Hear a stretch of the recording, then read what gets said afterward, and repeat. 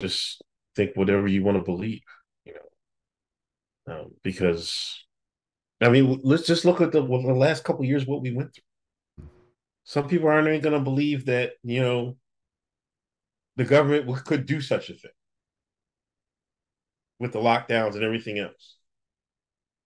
You know, and in the, in the world I grew up in, yeah, they of course they could. Like, you know what I mean? Like some people, we some people, you, some people would never believe it. They'll never, they'll go to their graves not. Like, I mean, you can't. Like, I try to, you know, hopefully you can touch some of these people and you just open some of their eyes. But there's going to be people that never, you know, until like they've had something massive happen in their life or something like that. You know, they're not. Some people just going to live in la la land, you know, and there's nothing really you can do about.